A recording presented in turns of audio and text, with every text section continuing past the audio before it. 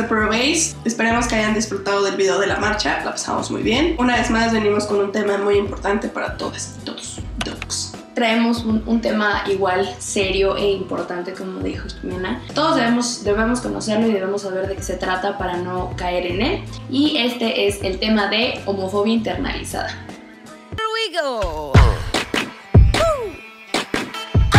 ¿Qué es la homofobia internalizada? Es asumir como propios los pensamientos homofóbicos, aunque seas parte de la comunidad LGBT. Tú vas a creer que todos esos prejuicios, mitos y estereotipos que se dicen acerca de la comunidad LGBT son ciertos. Obviamente todos estos negativos. ¿Dónde vemos este tipo de comportamientos? Si entendí bien, es una persona que es homofóbica porque dentro de, de ellos sienten que pueden ser homosexuales. Entonces, como que la manera en la que se dicen a ellos mismos que no son es rechazando a los demás y haciendo comentarios hacia esas personas. Comentarios homofóbicos. Se reprimen ellos mismos al reprimir a otras personas Ujú. LGBT. Sí, es como decirle a tu homosexuality, ja, ja, ja, me estoy riendo de ti y no pasa nada. Ok. Otra situación en la que lo vemos es cuando uno mismo tal vez no llega al punto de ser homofóbico, pero sí sientes como culpa, vergüenza y totalmente un rechazo hacia tus sentimientos y hacia quien tú estás siendo. Es por eso que mucha gente cuando se empieza a dar cuenta de su sexualidad o de su identidad de género y no es la correcta, empiezan a, decir, no, yo no quiero ser gay, o no, debo de estar mal de alguna forma, algo está mal conmigo, no, no, no quiero. Y eso yo lo he oído en muchas historias y en mi caso personal sí es una como un inmediato a decir, no, es que esto yo no puedo ser esto, o sea, no, me va a ir mal, está mal, etc.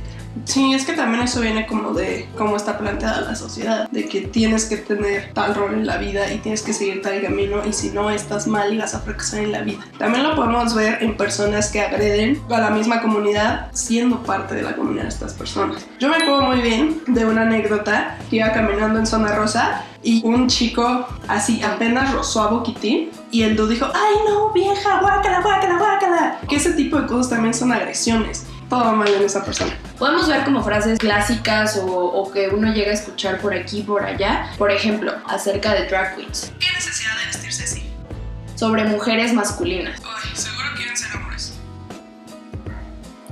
sobre hombres o mujeres trans, Ella es mujer y haga lo que haga va a seguir siendo mujer. sobre hombres gay por hombres gay. A mí me gustan hombres masculinos, nada de afeminados. La otra muy clásica, Y bueno, todo este tipo de frases tristemente vienen casi siempre de un punto donde se acepta de forma exagerada lo masculino y le dan a lo femenino una supuesta inferioridad o rechazan por cualquier tipo de razón a lo femenino. Claramente todo esto viene de una cultura súper machista y súper misógina que hemos traído desde hace muchos años para acá y que todavía no podemos deshacernos. Si eres un hombre, ¿para qué te vistes de mujer si ya eres el ser supremo de la galaxia? O u obviamente eres mujer, obvio no quieres ser mujer porque qué, qué oso, qué asco, entonces quieres ser hombre. No, ¿por qué, ¿por qué quieres ser hombre? bueno, ya, este...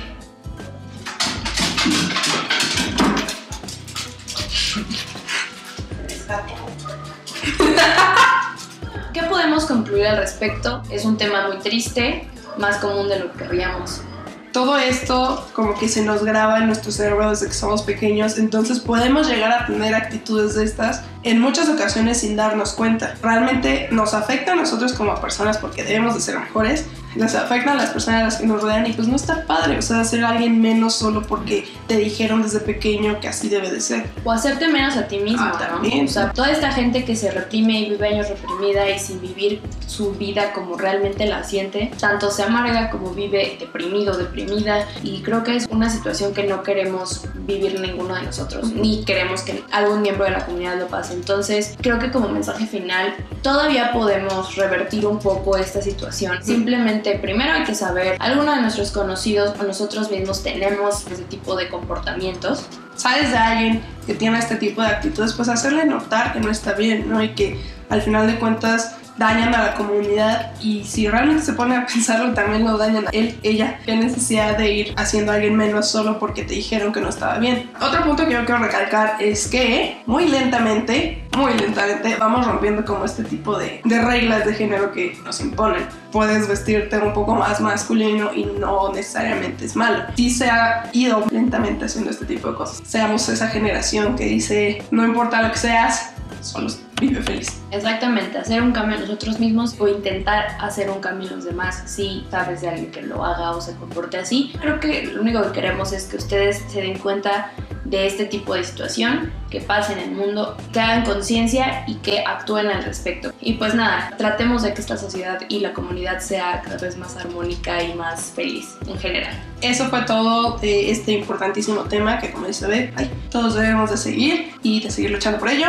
Compartan este video para que la gente sepa qué es esto. Mucha gente no lo sabe. Y mucha gente no sabe que lo hace. Exacto. Compartan, suscríbanse. Coméntenos, saben que nos gusta responderles. Y suscríbanse. Denle like, muchos likes. Y nos estamos viendo la siguiente semana en este bellísimo canal. Pero veis, peace out.